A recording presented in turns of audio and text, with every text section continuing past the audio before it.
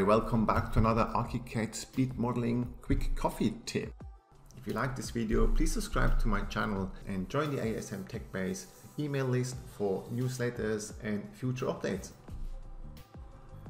In this tutorial, I'll show you how to create this detailed swimming pool, like nice sweeping around pool tiles. Look at this detail, it's really nice actually. There you go.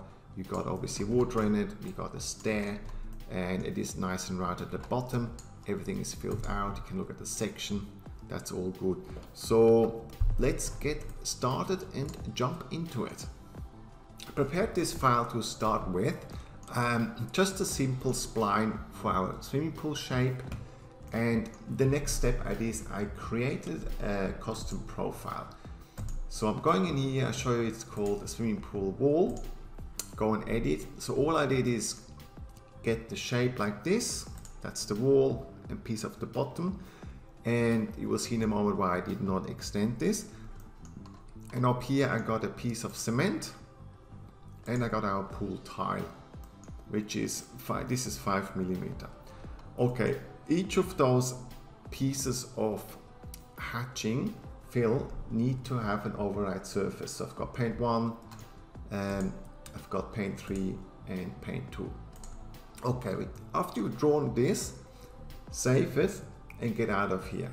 Make sure you save it as a wall, maybe as a beam, depending what you want to use it with. Okay, so get out of here. I've got my shape. I like to use the wall for this. So I open the wall, go to this tool, and I choose my swimming pool wall. Take this out, and let's put this on wall's exterior. Click OK and we use the magic wand tool. Make sure the settings are okay, you know, close enough. I've got at the moment deviation from curves less than 20 and the best match. So we go down here, zoom in a bit and you hold down your spacebar and you click. So let's see what we got for now. In 3D we have this part of the swimming pool.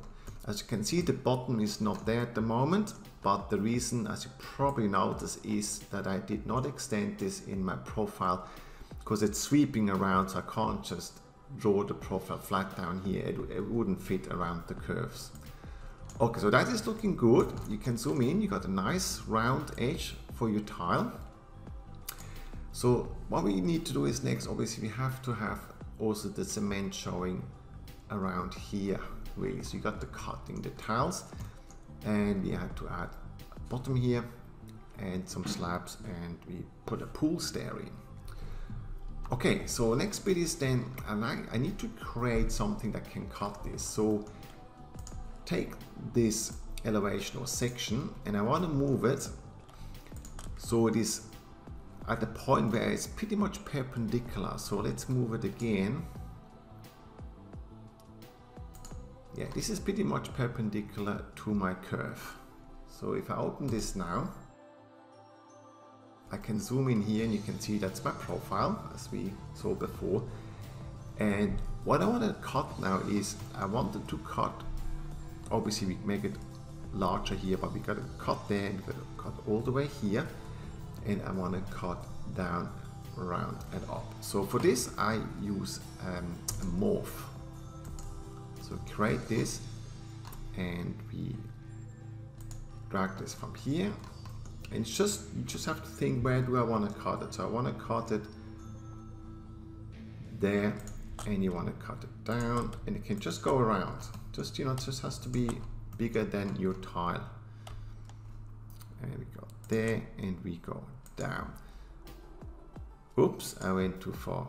No, it's all good. Alright, let's move this up. I think for this I need the other arrow tool. I don't really want this piece down here. I think just delete this one. Yeah, that's our piece of um, morph tool, which I use as a cutting element. Now, the other bit is I want to make sure it's all connected exactly zero at the moment. I mean zero, it's touching. So I want to have a bit of a gap. So what I do is I drag this x1 plus and y1 plus. So there's a little bit of a gap in there. Okay, So that means I have to extend it slightly. We actually can go over. Alright, see the gap might be a bit too big. You'll see in a moment why I do this. Let, let's move the gap a bit down. We really don't need much, just a little bit. As example, it just has to be a gap there.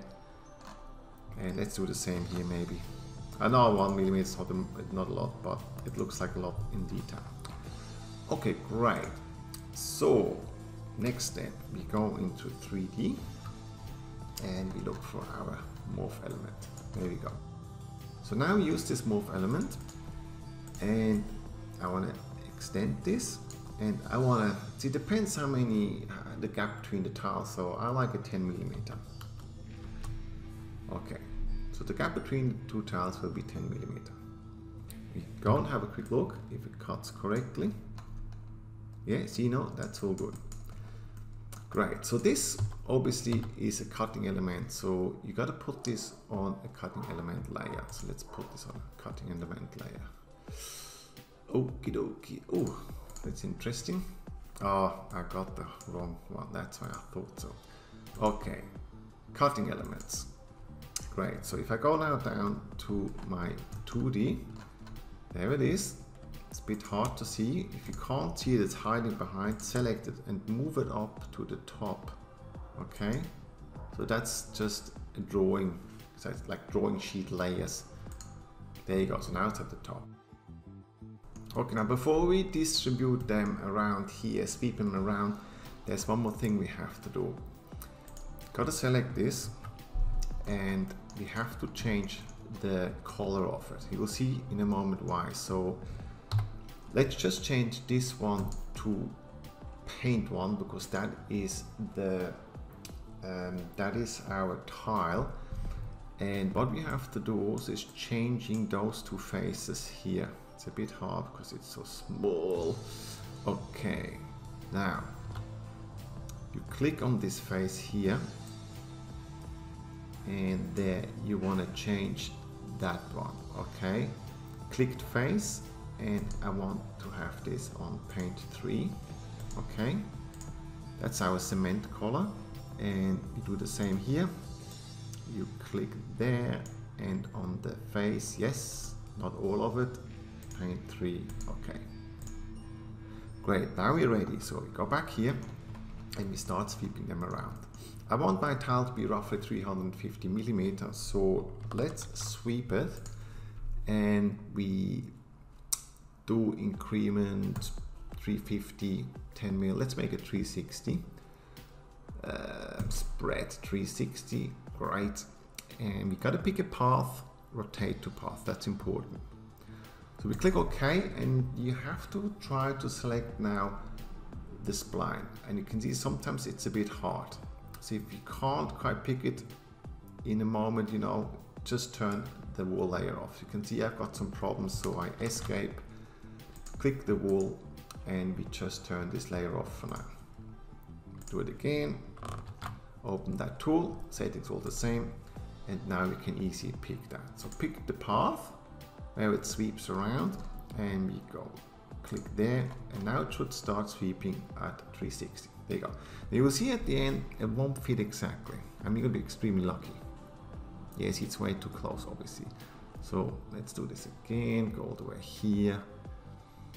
So you pretty much yeah have to take up. So what, what we're using just click and now we gotta count those and it's not as hard as you think because we got a nice tool here. It's called Edit Selection Set. It's all selected. 73. There you go. Cancel. And let's undo this step. And we open that tool again. Now 73. So what I do is we distribute this time. And I calculate 73 because we one there already. So let's make it 72. Those settings are the same. Great. Pick the path you there and now you see it's distributing them nicely around all the way and you just go to the very end. Oh I should have had minus one pretty sure. Yeah minus one very important. Do this again. There we go so sweep it around and now I can go to the very end. Oh come on gotta zoom in a bit Ah, oh, does not let me do this. Let's have another try. Over here.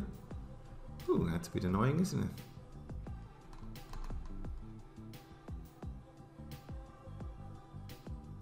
Okay, there you go to that line, that's fine. Now you can see they got all exactly the same distance in between. Now select this little one here we're missing and we group this. All right, let's go into 3D and obviously we only have that one on and show all the layers. Great. Now use solid element operation. Open this and we just select the targets okay you select the operate elements and now subtraction and now that's very important why I changed the color of the cutting element because I want to say inherit from operate so it will place now the material from the cutting element onto the target element wherever it cuts so let's do execute and see what happens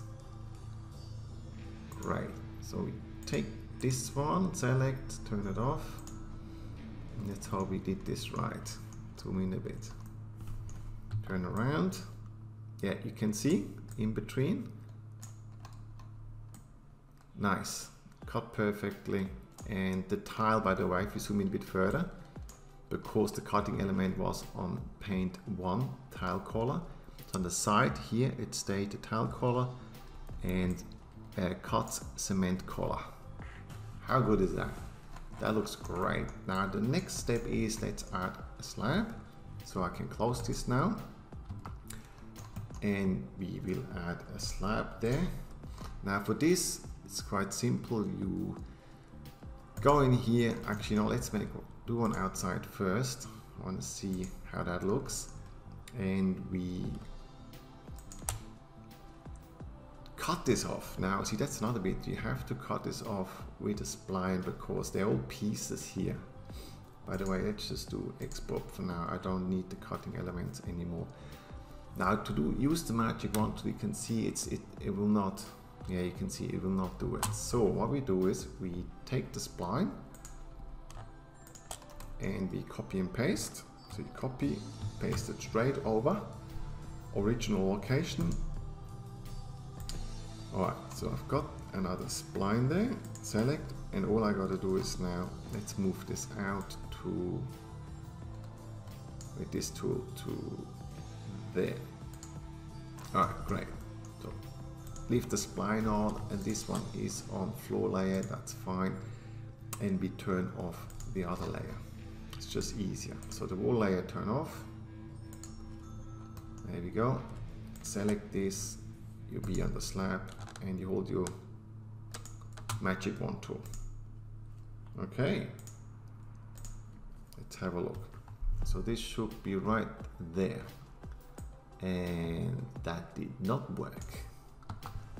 Beautiful, I wonder why. Let's do that again.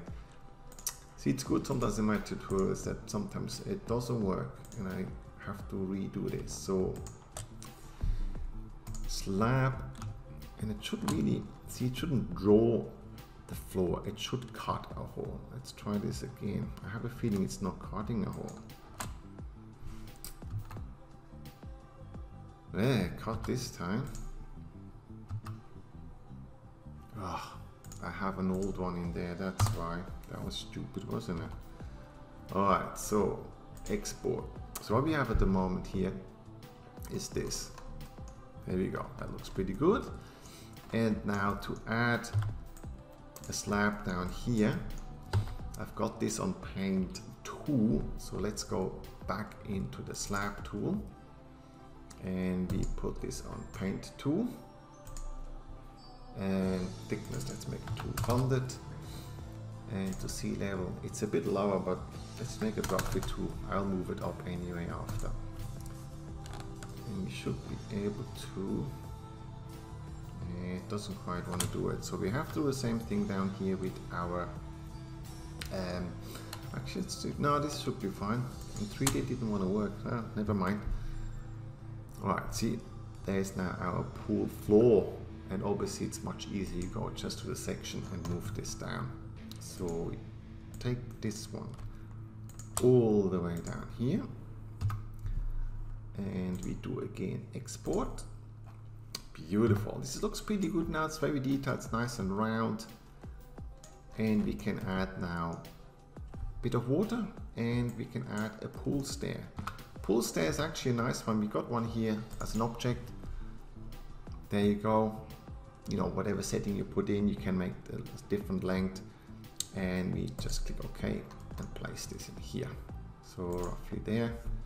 Let's have a look where it went. Yep. There you go.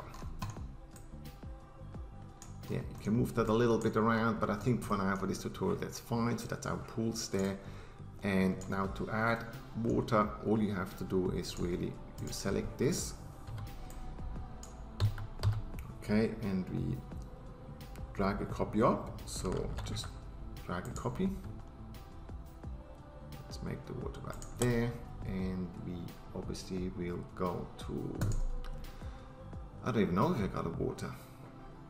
Well you know let's make a glass for this exercise. Just make a glass and the water maybe make it 10 mil thick. There we go. We should drag it up a little bit more. I can do this in section 2 but I like working in 3D there you go. And we have a little bit of a gap at the moment so what you have to do is we extend the water with this tool here. There you go. Okay there you go. You got the perfect pool sweeping around, quite detailed, ordering it. And if you render this up, this will look great, great in your project. I hope you enjoyed this little quick coffee tip and I see you back next time. Bye for now.